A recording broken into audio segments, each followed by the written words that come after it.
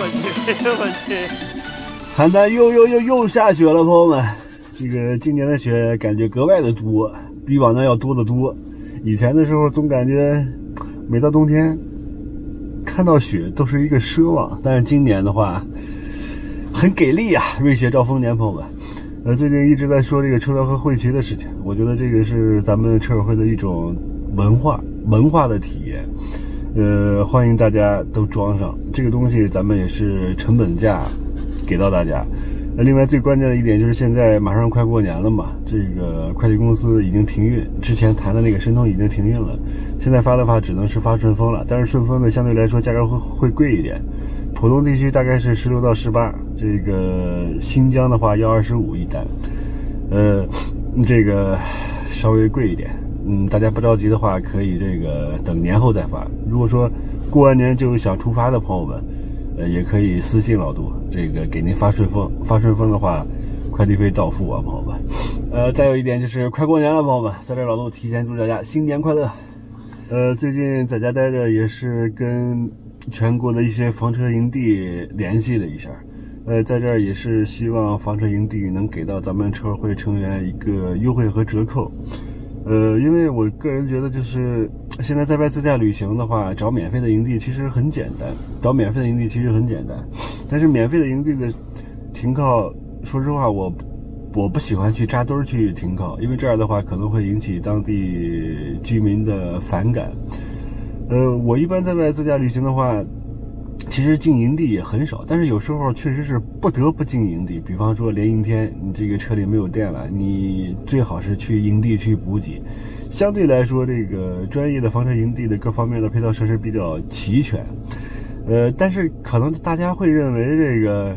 营地收费比较贵，但是最近联系了很多营地之后，其实我个人觉得很多营地其实收费还是很便宜、很便宜的，大部分的。最近联系到的大部分的营地，大概收费都是三十到五十，包含水电，有的甚至是停车费十块，这个不包含水电，用水用电的话单独可以算。就这样的话，我觉得对于这个喜欢自驾旅行的这个车友来说，不管是床车还是房车，这个价格我觉得大家都可以去接受。呃，在这儿也是，如果说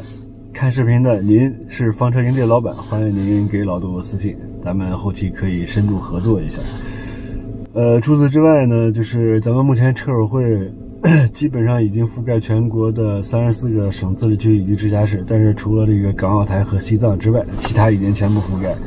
呃，截止到目前为止，大概已经一百多个群了，嗯，也覆盖了除这些省外的部分地市，比方说这个石家庄、邢台、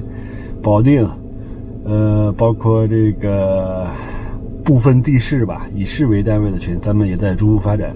二二年的话，也是希望车友会往前迈一大截。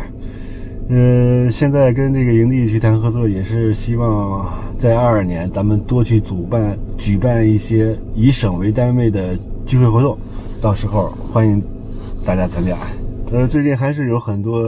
车友私信老杜，这个老杜到底怎么加入咱们车友会？包括在某度上，呃，很多视频，很多车友在视频下方留言。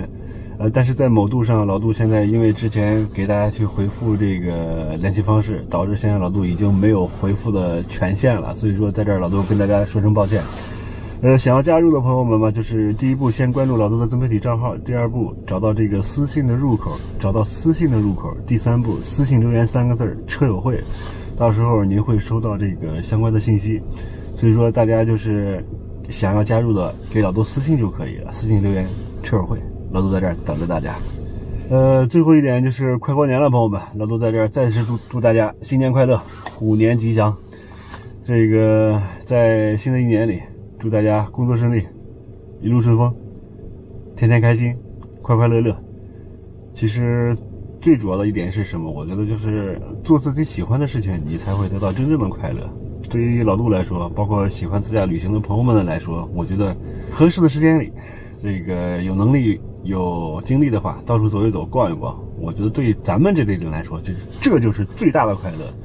所以说，老杜在这儿也欢迎所有喜欢自驾旅行的朋友们加入到咱们车友会。老杜在这儿等着大家。